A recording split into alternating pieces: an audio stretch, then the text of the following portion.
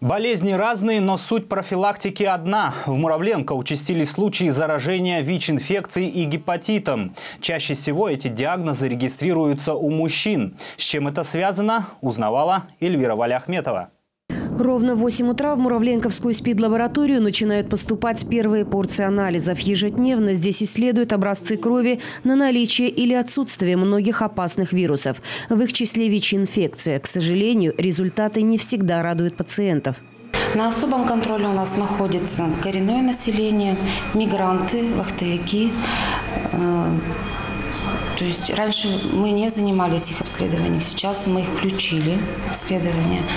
Ну, за счет этого, наверное, и вырос процент положительных ВИЧ-инфицированных. Среди коренного населения нашего города этот диагноз на данный момент не зарегистрирован, хотя эпидемическая ситуация по округу неутешительна. Беспорядочные половые контакты и наркотики остаются основными путями заражения. Случаи ВИЧ-инфекции регистрируются в Муравленко практически каждый месяц. Так, на диспансерном учете в городской больнице с этим диагнозом состоит 71 человек. На сегодня у нас зарегистрировано 168 случаев ВИЧ-инфекции. За 6 месяцев 2017 года мы взяли на учет 11 случаев ВИЧ-инфицированных. Из них 9 – это зарегистрированы случаи среди наших жителей города, и 2 случая зарегистрированы у лиц, прибывших с других территорий. ВИЧ-инфекция не единственная проблема. В городе еще немало больных гепатитом. На диспансерном учете состоят порядка 1200 человек.